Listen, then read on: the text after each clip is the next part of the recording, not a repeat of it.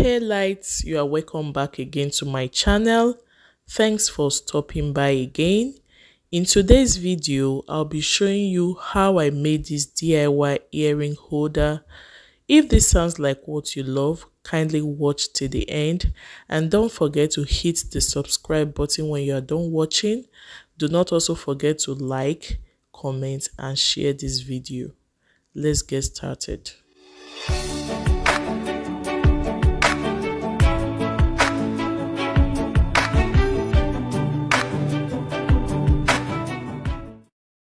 The materials needed for this tutorial are net. You can use any color.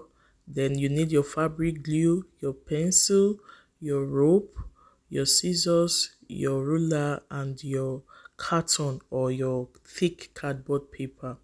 This is a simple DIY and you can choose any size of your choice. I just needed something simple and not so big. So I got this um, carton and this is me trying to draw like a rectangular line. The essence of this is for me to get two squares in the rectangle okay so i was just doing my mathematics here and this is looking so much like technical drawing but it's easy trust me what you have to do is just to like create a rectangle just like this make sure it's very accurate. Then after creating the rectangle you determine the center just as i have shown. Then you also get for the two sides. So as you can see it's like i'm having two squares there okay? Now i'm going to determine how thick i want it to be. I mean the frame of the earring holder now you can choose two inches you can choose one inch. You can choose three inches depending on what you want. So in a way whatever you do on the length side you also do it on the breadth side okay? So that it will be uniform. So if i took two inches below I will also take two inches sideways. Hope you understand. So that's what I have ended up doing and I will just be connecting all the points like so. And I'll also be doing it for the other square such that I will just be having exactly the same shape.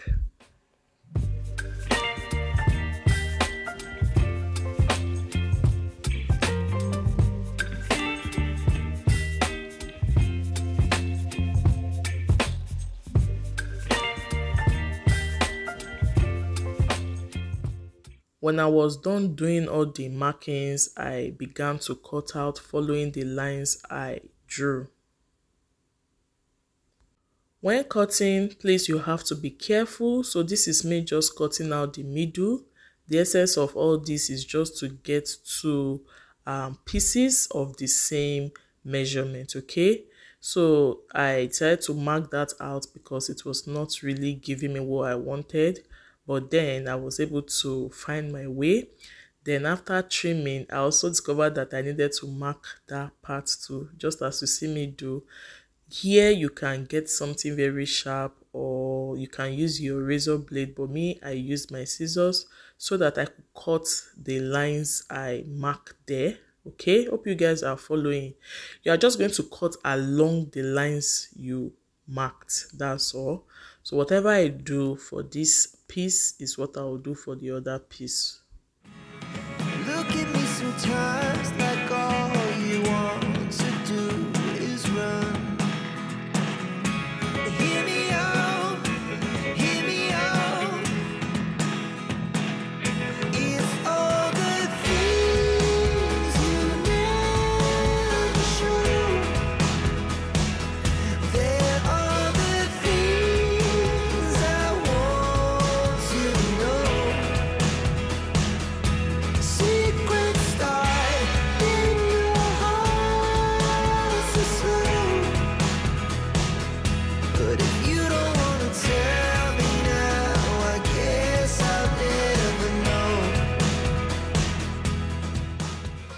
At the end of the day, you should have something like this, more like a frame.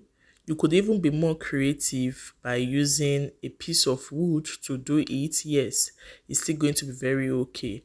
But I decided to make use of this carton because that was what I could lay my hands on at the time of making this video.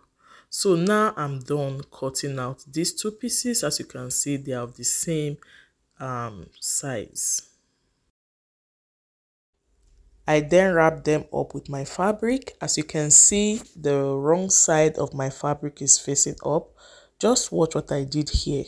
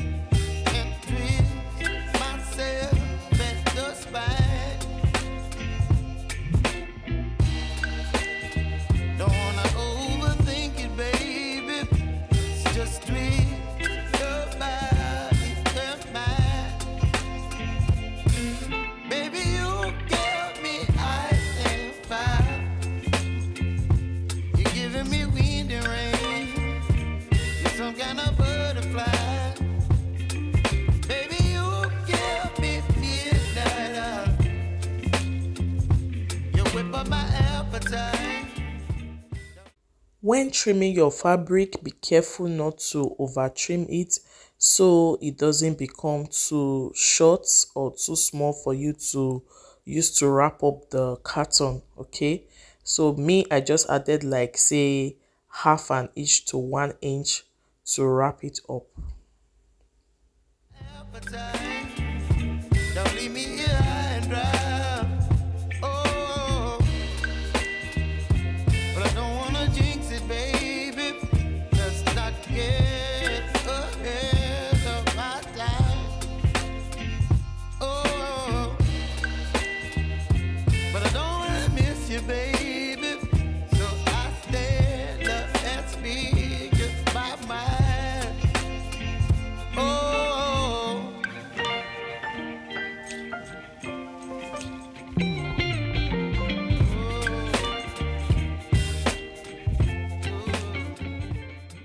When I was done with the first piece, I repeated the same process for the other piece.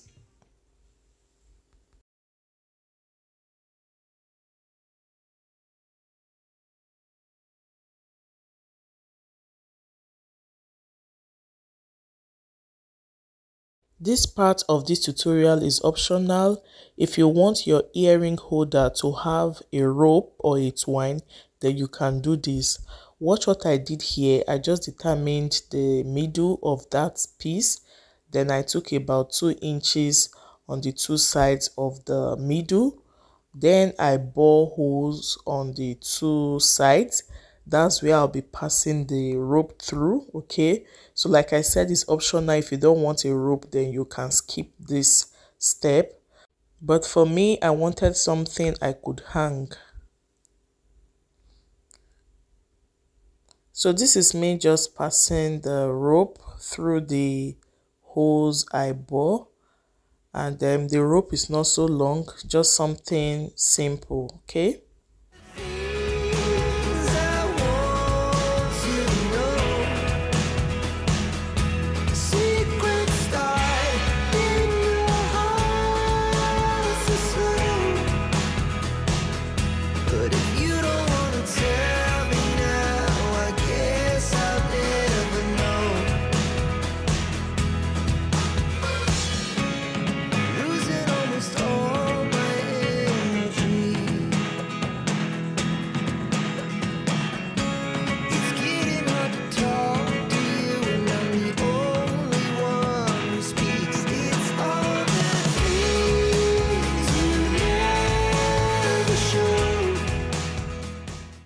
I then trimmed the excess rope.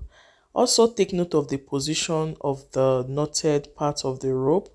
The next thing to do is to attach the net.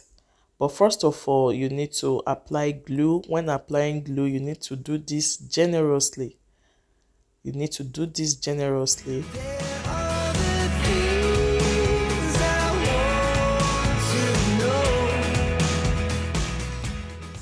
when I was done doing this, I just placed the net on it like that. And when doing this, you need to stretch it. As you can see, I was just trying to use my uh, fingers to stretch it out so that it will come out neat. And after doing this, you then trim the excess net. When you are trimming, be careful not to over trim so it doesn't become short, okay? So this is me just trimming the excess net and the next thing to do is to cover it up. This DIY is a no-sew DIY. When I say no-sew DIY, it means you don't need to have a knowledge of um, sewing to be able to do this DIY. With your glue, with your carton, with your leftover fabric, then you are good to go. So this is more like recycling your old cartons and also recycling your leftover fabrics. So now I'm just applying glue to the other part of the cutout and I'll just be covering it this way. Very easy. Very easy. Make sure you press it hard. Can you see it? It could also serve as a picture frame. Yeah, I have something like that on this channel. I also use the same pattern so we are almost ready. So this time around i was just trying to trim any excess um net as you can see the earring holder is almost ready. Yeah it's almost ready because i had to leave it for a while for it to glue properly. So after say like 20 to 30 minutes i started you know organizing my earrings. You could as well add your chains because it's more like a jewelry organizer with this DIY, your earrings, your jewelry can even last longer. You too could try this out and let me know your experience in the comment section. The beautiful part of this DIY is the fact that I could even hang it and it even makes it more presentable.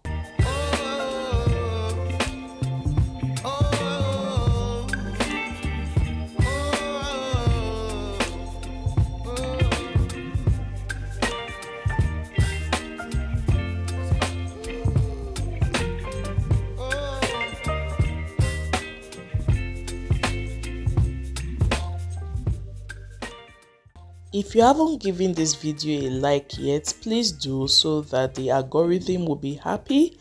And if you are coming across this channel for the first time, you are most welcome. And I encourage you to join this beautiful family by clicking the subscribe button. Don't also forget to turn on your post notification bell so you always be the first to see my videos. See you all in my next tutorial. Bye.